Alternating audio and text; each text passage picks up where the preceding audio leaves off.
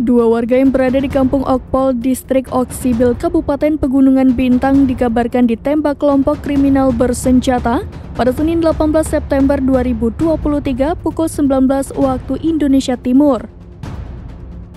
Kedua korban masing-masing Regina Bidana dan Jonas Kalakmabin. Akibat penembakan tersebut, Regina mengalami luka tembak di atas pergelangan kaki kiri, sedangkan Jonas Kalakmabin mengalami luka tembak pada mata kaki sebelah kiri.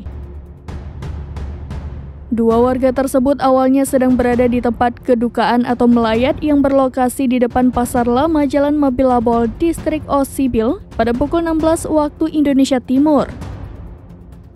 Sekitar pukul 16 lewat 45 waktu Indonesia Timur, Kedua korban kembali ke rumah di Jalan Okpol, tepat belakang guest house yang berdampingan dengan rumah korban. Saat berada di dapur untuk menyiapkan makan malam, tiba-tiba terdengar suara tembakan dan mengenai kedua korban. Kedua korban telah dievakuasi guna mendapat penanganan medis di RSUD Oksibil.